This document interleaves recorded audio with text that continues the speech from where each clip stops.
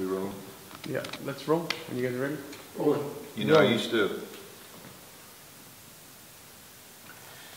I used to watch the uh, basketball championship finals, and I remember I would see Michael Jordan when he would win the championship, and he would fall to the ground, and he would just start crying. I thought, wow, wow, that goes beyond just being happy that you won. That's something else, and, and I know that, what that feeling is. You know? It's, um, it's pursuing a dream that you just, you don't know if you can get there, and it's funny because, okay, you wrap the film, what is, you know, it's not like you won the Academy Award or had a hundred million dollar blockbuster or something like that. But there was just so many things that you can let doubt creep into your mind, and you have to be relentless in your pursuit of your dreams. And uh, tonight, like I said before, it's like for me, it's like it's like climbing Mount Everest. Um, I think we have a great film on our hands. And you never know until the first cut, but I think we have a great film on our hands. And I'm so grateful to, you know, I just give an emotional thank you to everybody. You know,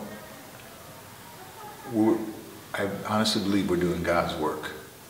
And I don't mean that in a grandiose sense. I think everybody has the opportunity to God's work. Some people do and some don't want to and some don't know how to. And, um, and I sincerely think that God sends these angels or helpers or whatever you want to call them.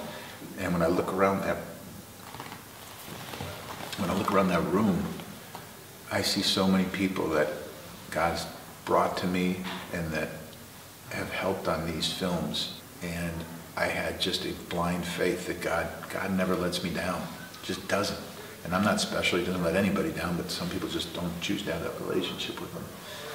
I just think that these films, God gives you these angels to work on this product, and I just try and do the best I can, and and I'm looking forward to a great night's sleep, and uh, and then getting right to work to editing to to bring a great film, because that that's my next goal, is to do everything I can to make a great film out of this that that people will love to hear, to to watch, to be a part of, and hopefully inspire their lives.